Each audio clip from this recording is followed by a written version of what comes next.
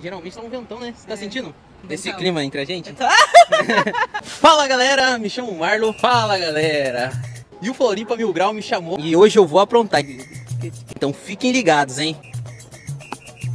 Qual que é o seu nome? Roberta. Meu nome é Gislaine. Você namoraria com um pobre? Ai, ai, ai. Eu acho que não. Tá tudo tão difícil, né? Sim. Vocês não estavam esperando ele. Roberta, uma mulher bem bonita, né, Roberta? Muito obrigada. Acho que eu perdi meu nome. Você empresta o seu? Meu celular, não.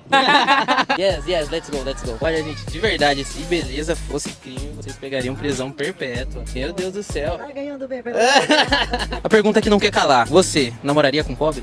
Assim, quando a gente conhece alguém, primeiro momento a gente não pergunta né, se a pessoa é pobre ou não, mas se é uma pessoa legal, se a pessoa trabalha, pensa no futuro, aí sim. Eu já casei. e você? Também casei. Tem que acreditar, tu nascer pobre a gente não escolhe. Agora, tu morrer pobre, aí já é complicado. né? Let's go. Floripa Mil Grau aqui, qual é o seu nome? Kátia, Você namoraria com pobre?